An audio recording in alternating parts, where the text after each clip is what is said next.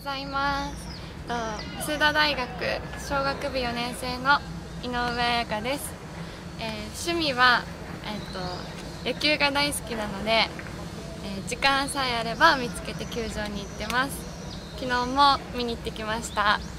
で特技はあのすごく仲良くならないと見せれない特技を持ってるんですけど今はできません。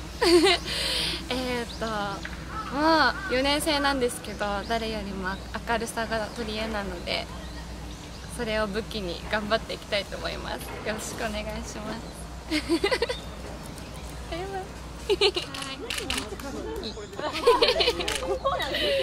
恥ずかしい。なんだこれ。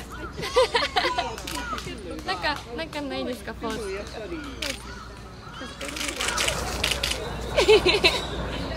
に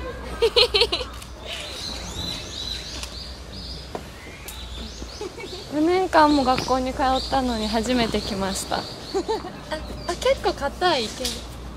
え？ダメだ全然握力がない。わ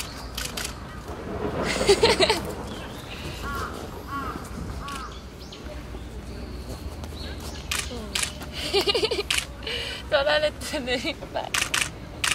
え蚊に刺された 蚊に刺されやすいんですこっちは。めっちゃブルブルしてる。